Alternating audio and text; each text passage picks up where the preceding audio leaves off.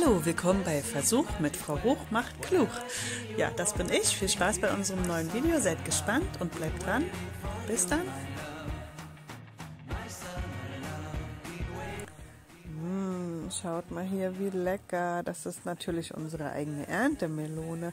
Wir hatten ganz viele große, aber diese kleine hier, die war doch wirklich die leckerste. Total süß und saftig und knackig und überhaupt nicht mehlig. Also so eine Melone. Hm, so, und jetzt schaut mal hier. Das sind bemalte Kürbisse, wie ihr seht. Schaut mal mit Eisenbahnen und Pferdchen und einem Pilzhaus und Igelchen. Ja, das ist mal so eine Idee, wie man Kürbisse, wenn man denn so viele hat, dass man sie schon nicht mehr essen kann, noch nutzen kann. Da sind jetzt sowieso viele Dekokürbisse bei, Zierkürbisse. Ja, und so sind die natürlich noch ein bisschen dekorativer, nicht wahr? Ja, natürlich gerne auch äh, zum Nachmachen gedacht. Also ihr seht schon, ein paar Igelchen sind drauf, sind halt Herbstmotive. Denn Kürbisse sind ja nun mal die Herbstfrucht schlechthin. Ja, und äh, gerade die Kinder finden die ganz niedlich. Wem es jetzt zu kitschig ist, okay, da kann man mit leben. ist auch nur eine Idee. Ihr könnt auch ganz andere Sachen draufmalen. Also in dem Fall sind das jetzt Ölfarben mit einem Klarlack drüber dass das Ganze auch draußen stehen bleiben kann und eben auch hält. Also die sind dann auch wetterfest. Ja, so eine kleine Herbstidee für euch.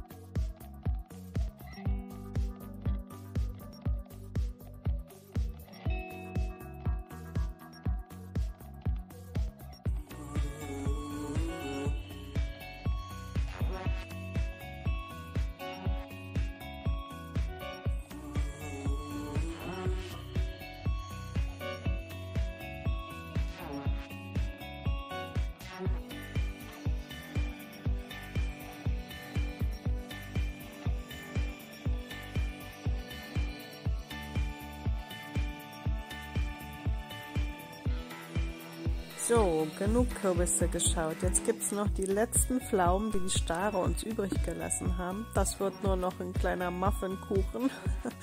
da waren nicht mehr viele dran, wir kamen zu spät. So schaut mal, jetzt lese ich euch mal was vor. Ein Vogel hat keine Angst davor, dass der Ast unter ihm brechen könnte. Nicht, weil er dem Ast vertraut, sondern seinen eigenen Flügeln. Der Spruch ist leider nicht von mir, aber ich fand ihn so schön, dass ich ihn auf eine Schieferplatte gemacht habe. So, das ist mein Plan für heute, denn es geht ans Aussäen. Ja, ihr hört richtig, auch im Herbst seht man noch mal aus. So Leute, das Jahr neigt sich zwar dem Ende, aber im Garten ist noch lange nicht Schluss. Was zeige ich euch hier? Nein, das sind keine Maulwurfslöcher, sondern ihr wisst ja, ich mulche und in dem Fall haben wir mit Mist gemulcht. Und das sind jetzt meine Pflanzlöcher für den Blumenkohl, denn wenn ihr euch jetzt den Winterblumenkohl als Saatgut holt, könnt ihr den jetzt noch aussehen. Also hier, hier ist der Weg, auf dem ich stehe. Ihr seht meine Füße. Ähm, ja, hier wird jetzt der Blumenkohl gesät oder habe ich gestern schon gesät. Und hier in der Mitte ist so eine Art Graben. Da habe ich Blumen eingesät, denn es gibt Blumen, die brauchen den Kältereiz, bevor sie dann nochmal erneut oder überhaupt nächstes Jahr dann austreiben. So, da, dahinter ist auch nochmal so eine Löcherreihe. Da kommt äh, auch Blumenkohl rein. Ich hatte ein bisschen eine Verarschepackung gekauft, in der ähm, eigentlich drauf stand, dass da ja 30 Stück drin sein, was ich echt schon wenig fand. Ich habe auch nicht raufgeguckt, muss ich ehrlich sagen, weil ich bin von 100 ausgegangen.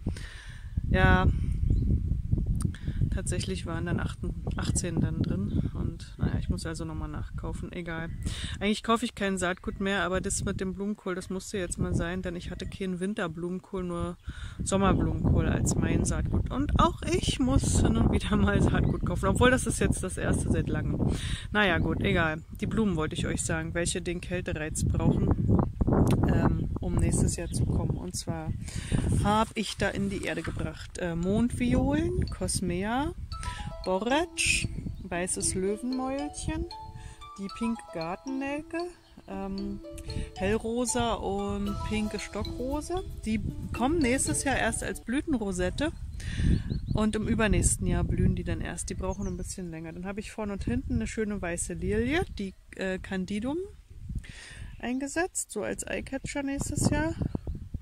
Ja, Boric hatte ich glaube ich schon gesagt, habe ich noch mit drin. Ähm, ja, Petunien habe ich noch ganz viele drin. Die habe ich äh, geschenkt bekommen von jemandem. Die sind in weiß, hellblau, lila, ganz viele verschiedene Farben. Die sehen sich dann auch immer wieder selber aus.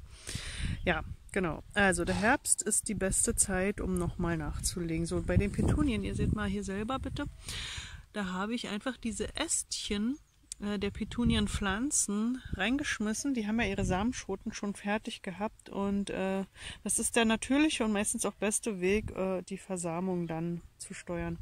Ja, dahinter gibt es da noch eine Reihe. Könnt ihr die erkennen? Da ist Salat drin und zwar Salat der Marke ähm, amerikanischer brauner Pflücksalat, denn der ist relativ kälteresistent und äh, unempfindlich. Der kann da rein. So, hier habe ich jetzt, schaut mal hier, das ist das nächste Beet nach dem Weg, auch so einen Graben gemacht, in dem sind jetzt Möhren drin und zwar die Nantes 2, da die auch kälteresistent ist. Dann habe ich hier auch nochmal so eine Löcher gemacht und da ist äh, der Pak Choi drin. Also eigentlich wollte ich da Chinakohl reinpacken, den habe ich aber nicht bekommen. Und der Pak Choi ist relativ kälteresistent. Also richtig kalten Frost, wenn es richtig in die Minusgrade geht, mag er nicht. Leichten Frost kann er eigentlich ab, auch wenn auf der Packung stand frostempfindlich. Aber meine Erfahrung ist, das kann er eigentlich ab. So und ganz am Ende ist nochmal eine Reihe. Die hatte ich jetzt auch gestern eingesät. Ähm, da ist ähm, Petersilie drin. Jetzt werde ich heute auch noch einiges einsehen, aber das äh, zeige ich euch gleich. So, hier kann man natürlich jetzt noch nichts erkennen, habe ich aber gestern, das ist so ein kleines Dreieck hier, was sich hier so bildet, äh, vier Kaiserkronen eingesetzt. Also zwei gelbe und zwei orange. Naja, ich muss sagen, nicht ich, sondern meine Tochter hat die eingesetzt. Und ähm, für alle Kinder, die die Videos gucken oder Jugendliche und die Gärtnern, ähm, bei Zwiebeln, egal ob jetzt äh, Speisezwiebeln oder Steckzwiebeln für Blumen, bitte immer die Spitze nach oben und die Wurzel nach unten. Das scheint keine Selbstverständlichkeit zu sein. Das ist der Basti. Hallo, da ist er. Ich habe ihm hier extra eine Liege hingestellt, so im Halbschatten, falls er sich hinsetzen mag. Ja, also bei Steckzwiebeln bitte, ähm, sie haben Füße und einen Kopf und sie mögen gerne auch so in den Boden kommen und nicht falsch rum. Nur noch mal so als kleine Info, so das bin ich im Schatten. So, und jetzt zeige ich euch, was ich noch einsehen werde heute. Und zwar haben wir hier die roten Rüben. Die werden jetzt nicht mehr sehr groß, es sei denn, ich decke sie dann nachher noch mit dem Folienfunnel ab. Das werde ich mal sehen, wie es zeitlich passt. Ähm, ja, mein Schwein spielt da gerade mit irgendwas rum. Ich muss da mal gucken, was er hat. So, hier. Ja, das ist jetzt. Ihr könnt natürlich jetzt die Verpackungen bei mir nicht sehen, weil ich nutze ja mein eigenes Saatgut. Ich habe mir aber einen Zettel reingelegt, einen Zeitungspapierzettel. Ähm, das ist äh, Spinatsaatgut. Spinat auf jeden Fall jetzt noch auszuziehen. So, Zettel wackelt hier. Muss ich mal was draufstellen. So, dieses schöne, ähm, ja, wie soll ich sagen, dieses schöne Schild ist Schiefer, richtige Schiefertafel. Hier werden ja so viele alte Häuser einfach abgerissen, das wird dann weggeschmissen. Das habe ich mir gedacht, nutze ich für mich. Das werde ich nachher noch anbringen, da suche ich mir noch einen schönen Platz für. So, was ist aber jetzt weiter in die Erde zu stecken gilt. Also hier, ihr kennt ja meinen schönen Saatgutturm, sei nochmal verlinkt zur Aufbewahrung des Saatguts Zwiebeln. Das ist Zwiebelsaatgut, wer es noch nicht kennt, so sieht es aus. Schwarze kleine Körner, könnt ihr das erkennen? Ja. Ähm, Ja, Zwiebeln kommen jetzt auf jeden Fall im Boden. Dann, das sind die Brotzwiebeln vom Knoblauch. Die kommen jetzt auch auf jeden Fall noch in den Boden. Dann habe ich hier, ich weiß nicht, sieht man das jetzt? Das ist hier ein bisschen blöd mit dem Licht. Das ist Gartenrittersporn. Der ist weiß und pink. Es gibt auch ein paar dunkellila bei, aber die sind sehr vereinzelt gewesen. So, und hier habe ich, da ist äh, ein Saatgut von der Mondviole drin, passt da nicht mehr, lag da drüber. Ähm, das ist Koriander. Den könnte ich jetzt so, wie er ist, auch zerstampfen und als Gewürz ins Essen machen. In dem Fall ist er aber mein Saatgut fürs nächste Jahr, denn Koriander blüht wunderschön weiß wie Schleierkraut. Und natürlich hat es auch den Nutzen dessen, dass man dann Gewürze hat. Ja, der Koriander kommt also auch in den Boden. Der braucht übrigens auch den Kältereiz. Der versamt sich auch selbst wieder aus. So, hier. Das habe ich mal über einen Saatguttausch bekommen. Wilde Ackelei, ihr seht es schon. Ih, hat ein Vogel neben mir auf mein Blatt geschissen. Was soll das denn? Ich habe mir gerade einen schönen Plan gemacht und er scheißt mir da drauf. Alter, auf deinen Plan scheiß ich oder was soll das hier heißen? Spatz, ey. Gut, okay. Also die wilde Ackelei braucht auch ihren Kältereiz. Die kommt, weil das ist ja hier ähm, dunkelblau-lila, die kommt zu dem Koriander. Dann, äh, das sieht wunderschön zusammen aus. Das habe ich schon mal gemacht. Das werde ich wieder so machen. So, dann habe ich hier noch verpackt. Ah, ich schreibe es mir manchmal auch rauf. Guck mal, was da drauf steht. Äh, wenn man es jetzt nicht lesen kann, lese ich es mal vor. Rosa-violette Malve aus Gato, aus dem Bioladen-Kaffee. Die Blüte da hinten so schön. Und dann habe ich mir gedacht, die nehme ich mir mal mit. So, und das ist noch eine violett-rosa Malve von mir selbst hier. Und die beiden, die kommen zusammen. Und zwar zum Koriander ähm, und der Ackelei. Das sieht zusammen, denke ich mir, sehr hübsch aus. So, und dann habe ich noch die Kokadenblume. Und die ist ja so gelblich und rot. Die kommt zu den Kaiserkronen, denn da passt sie farblich gut. Und ich versuche ja so ein bisschen so ein Farbkonzept mit ähm, ja, Farben, die schön zusammenpassen, jedes Jahr zu basteln. Die Natur überrascht mich immer mit ihren eigenen Vorstellungen. Dann habe ich hier noch eine Glockenblume blau. Die kommt natürlich auch noch zu der Malve und der Ackelei und zum Koriander. So, jetzt habe ich euch gezeigt, was ich heute alles in die Erde bringen werde. Sieht hier ein bisschen aus wie Baustelle. Ist es ja auch. Ja, jetzt geht's los. Hier, die begleiten mich hier die ganze Zeit, die beiden Kerle. Hm? Habt ihr auch schon was zu sagen? Wir können ja nochmal Hallo sagen gehen. Ja, der große Schwarze hier, was heißt groß, der war ja auch klein, aber größer als die beiden. Der Eberhard, der ist jetzt weg. Der Eberhard hat ein neues Zuhause gefunden und ja, der Eberhard wird wahrscheinlich da schon kleine Kinder gezeugt haben, die dann wahrscheinlich im Januar auf die Welt kommen werden. Und somit geht das Schweineleben dann äh, in die nächste Runde und wieder eine Generation weiter. Hm? Schwänchen? Ja, die sind hier quasi so mitten in meinem Garten, in ihrem abgezäunten Bereich und kriegen, wie ihr seht, äh, alles an Grünzeug, was ich so habe, hier rüber. Wobei ich sagen muss, wir sammeln auch extra täglich eine große Fuhre Melde in so einem, naja, Abrissgrundstück, beziehungsweise stillgelegtem Grundstück. Und beim Nachbarn ja, damit die Schweine einfach Grünes haben, weil ich weiß nicht, wie die das in den Mastanlagen machen. Meine Schweine brauchen Sonne und Grünes. Und ihr glaubt gar nicht, was Schweine für Sonnenanbeter sind. Sobald die Sonne scheint, liegen die in der Sonne und schlafen und tanken da richtig Vitamin D3 und futtern Grünes. Also, ja, Schweine sind ein bisschen wie wir Menschen, beziehungsweise wir wie die Schweine. Ich weiß nicht. So, jetzt bekommt ihr noch ein paar Eindrücke ist das Video auch schon langsam wieder vorbei. Ich zeige euch dann noch kurz die Facelia, die ist eine schöne Bienen- und Hummelweide. Ja, und dann verabschiede ich euch schon bis zum nächsten Video. Ich hoffe, es hat euch Spaß gemacht. Hinterlasst einen Daumen nach oben, vielleicht ein Abo.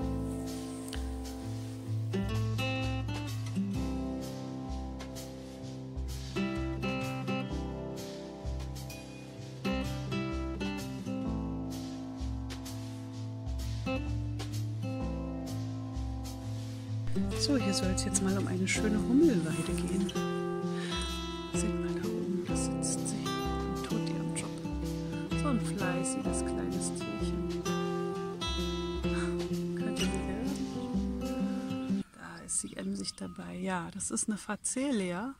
Eigentlich werden die ja zur Gründüngung gepflanzt, habe ich hier auch. Ähm, und äh, es erfüllt gleich mehrere Anforderungen. Also es ist natürlich eine Hummel- und Bienenweide, überhaupt eine Insektenweide. Dahinter steht auch noch ein bisschen Raps, der war in der Mischung mit drin.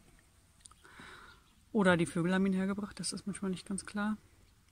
Aber die Facelia ist eben für den Boden ein Optimierer, ein Dünger sozusagen, wenn man dann die verblühte Pflanze unter, ja, einfach zum Mulchen einfach rausreißt oder sie sich selbst hinlegt. Es ist gleich ein Bedecker für den Boden, da ist das Bienchen, äh, die Hummel wieder. Ja, und ähm, es ist auch nicht wirklich invasiv. Also wenn es einen stört, nimmt man es weg. Ansonsten bleibt es da und schützt den Boden vor Erosion und Verdunstung. Tolles Pflänzlein und einfach hübsch anzuschauen. Schaut mal, wie schön die aussieht. Ich mache der jetzt leider gerade Schatten. Muss mich mal wegdrehen. Dann ist vielleicht ein bisschen... Ah, die Abendsonne steht sehr schräg. Ich gehe mal auf die andere Seite. So genau, dann wird es ein bisschen sonniger. Ihr könnt das besser sehen. Schaut mal da. Ist die nicht emsig? Guck mal den weißen Popo. Ja, und was hier so komisch kaut, ne? das, das ist das Pferd hinten. So viel zu erzählen. So, das war's jetzt. Dann bis zum nächsten Video. Auf Wiedersehen, eure Susanne.